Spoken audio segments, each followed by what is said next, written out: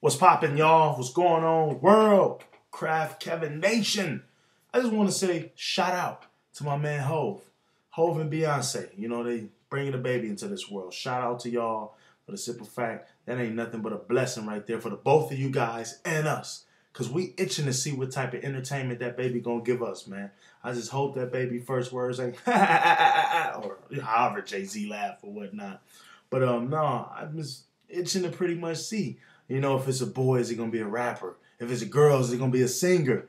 You know, we just kind of want to know those type of things, man. And me being a father myself, I know how it is, you know. So I know the feeling Jay Z pretty much got right now.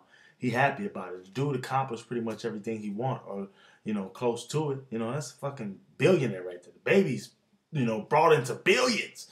That's a powerful couple. You know, the baby's gonna have any fucking thing that it wants. Simple fact, your mom and your dad is mega superstars right there. You really just don't see that. They both are at the top of the game right now. Mega superstars. That's beautiful. It's not all my dad is the mega superstar or my mom's the mega superstar. Both of them. That baby got the gene of both of them. The best of both worlds. God damn, that right there is a blessing right there, man. I just can't wait to see that myself. I just wanted to inform you guys and let you know it is what it is. I love my daughter, you know. As you can see, her bike is in my fucking office, you know. That's her bike right there. You know, you see that, that, that bike right over there? That's that's that's her bike. You know, I love my baby. You know, so I'm a father and I know how this shit is.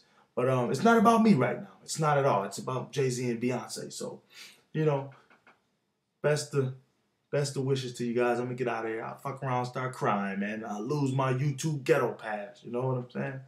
At y'all. Till next time, peace.